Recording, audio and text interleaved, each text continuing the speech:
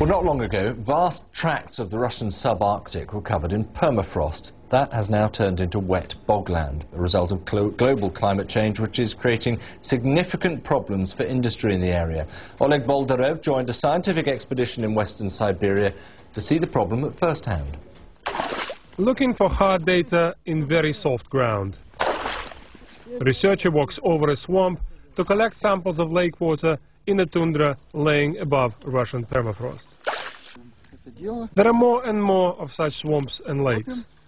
And here is what worries scientists most. Methane, a greenhouse gas 20 times more powerful than CO2. The bubbles may be small, but the new lakes are emerging everywhere. Satellite images show the formation of new lakes. On the ground, samples need to be taken from lakes of different size and age. Dark, peaty water in this baby lake warms up under the sun, and so the melting begins. Well, this is how it starts. The shallow depression in the ground is the beginning of a new lake. The lake which will be growing. And as it grows, it will release more and more methane. The same thing happens all over western Siberia. Now, 60% of Russian area is covered by permafrost. And the amounts of methane which are now stored locked underneath the surface are said to be around 80 billion tons.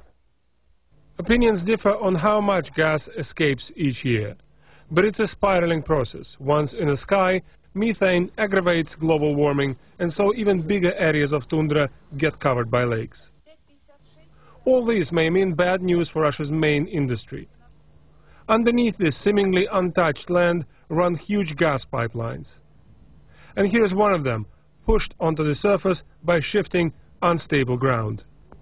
Unofficially, there is talk of increasing accidents like this, though on the record, Russia's Gazprom says its operations are not affected.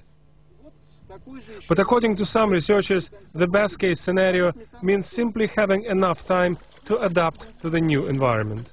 It's taking place now, and uh, we are too late, to my mind, with decision making, because uh, this process was started and uh, now we have not any opportunity to stop it. Uh, we have only a time to delay it, maybe, to make the results less horrible. 70 years ago, cities and industries of the Russian north were literally drilled into permafrost. Back then, things indeed seemed permanent. But now this wobbly ground may become a symbol of new, unpredictable climate conditions for the world's largest country. Oleg Boldyrev, BBC News, Western Siberia.